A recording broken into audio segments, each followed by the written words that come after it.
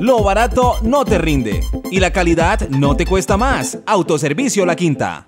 Con 20 equipos se desarrolla el torneo recreativo de voleibol que se juega en la cancha del barrio La Floresta. Se ha estado desarrollando el torneo recreativo donde pues muchos equipos a pesar de tener su capacidad como el torneo de ser recreativo pues han mostrado una faceta muy diferente en esta versión de este torneo de Eduard Arques en el que pues todos los equipos han mejorado en sus niveles. Avanza la sexta fecha y con ella equipos que trabajan para llegar a lo más alto de la tabla de posiciones. En el momento pues todavía es difícil de, decir qué equipo va como firme a la final, pero hay equipos que han mostrado un nivel óptimo dentro del deporte, del voleibol y que ha sido muy bueno. El torneo recreativo sirve también como espacio para luego de una jornada laboral poder compartir entre compañeros.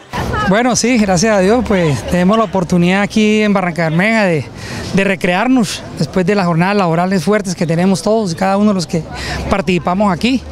Y sí, sabroso, hacer deporte es muy bueno y saludable. Aquí hay gente con bastante nivel, esperábamos ahí más, eh, pero ya con el segundo vamos a meterle con toda. La jornada va de lunes a jueves. Tenemos 7 y 30, 8 y 30 y 9 y 30 de la noche, de lunes a miércoles. Uno de los juegos que presenció el grupo de Enlace Noticias fue entre los veteranos y novatos pertenecientes al grupo B.